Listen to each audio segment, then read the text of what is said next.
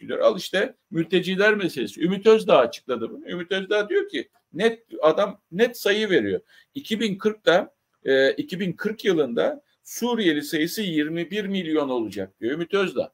E, 21 milyon Suriyeli olacak bu ülkede. Şimdi e, sınır zaten sınır kapılarının veya sınır kapıları demeyeyim de sınır hatlarının doğuda veya güneyde evgire döndüğünü çoğumuz biliyoruz. Nasıl giriyor insanlar? Nasıl girdiler geçmişte? Nasıl önlemleri alınamadı, edilemedi bilmiyoruz. E, ve ama e, şöyle bir gördüğümüzde, baktığımızda aslında maalesef e, sınırın hattın e, güneyde veya doğuda neresi olursa çok da güvenli olmadığını. Hala belki biz konuşurken, sizler beni dinlerken bir on, onlarca insan, yüzlerce insan belki o sınır kapısından giriş yapıyor. 2040 yılında 21 milyon Suriyeliden bahsediyoruz. Bir de Ümit Özdağ'ın çok güzel bir fotoğrafı vardı. Ahmet gördün mü o fotoğrafı? Alsana onu. O da bak işte dedim ya ara ara böyle videolar vereceğiz. Ara ara böyle ne bileyim şeyler vereceğiz. E, fotoğraflar vereceğiz. Ümit Özdağ bunu sosyal medyasında paylaştı. Sizinle paylaşayım. E, şöyle e, Erdoğan'ın posterleri var. E, Türkiye yüzyılı doğru adam, öndeki adam. O da ama öndeki adam derken o da kendini öne koymuş böyle. Bu şekilde de bu billboardun önünde e, doğru adam olarak kendisini gösteriyor. Billboard'daki cümleyi de tabii almış. En öndeki adama bakın demek istiyor yani bana bakın demek istiyor. Güzel bir fotoğraftı. Beni epey güldürdü. Belki sizi de güldürür.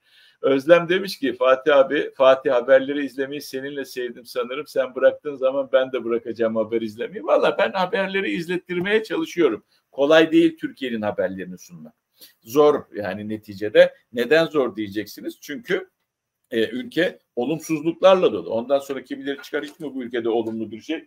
Özür dilerim olumlu bir şey olmuyor diye de sorar. Olumlu bir şey olsa bile olumsuzlar o kadar fazla ki olumsuzları dile getirmek gerekiyor. Çünkü neticede iktidarlar yapmak zorunda. Yani ülkeyi kalkındırmak zorunda, refah düzeyini arttırmak zorunda, eğitimi yükseltmek zorunda, e, yaşlısına e, iyi bakmak zorunda, engellisine iyi bakmak zorunda. Yani bu zaten sosyal devletin görevliliği veya görevi. Veya ben bunları yapıyorsun diye ona neden alkış tutayım ki? Tutmam. Tutmak zorunda değilim. Yani tutanlar var. Zaten yapmak zorundasın sen. Ben yapamadıklarına söz verip de yapamadıklarına bakıyorum. Şimdi abi Elazığ'da madende gözüm meydana gel e, çök göçük meydana gelmiş. Ölü yaralı var mı? Hayır. Şu anda bir e, iki işçi kurtarılmış. İki işçi arama çabası sürüyor. Elazığ valisi konuşuyor çünkü. E, ve e, Ahmet bir son dakika bilgisi verdi bu madende. 6 yıl önce aynı yerde yine bir göçük 2 Şubat'ta e, bir göçük meydana gelmiş. 22 Şubat'ta mı olmuş 6 yıl önce?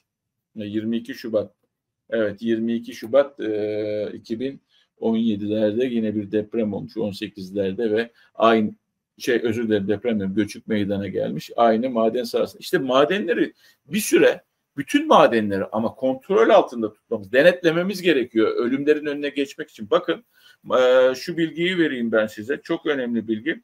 E, bunu e, CHP Aydın Vekili var. O söyledi. 22 yılda iş kazalarında ölen insanların sayısı bu 22 yıl AK Parti'nin yönetim e, döneminden bahsediyorum. 32.478 yanlış duymadınız. 32.478 kişi hayatını kaybetmiş 22 yılda iş kazalarından çok büyük bir orandan bahsediyor. Sayıdan bahsediyoruz.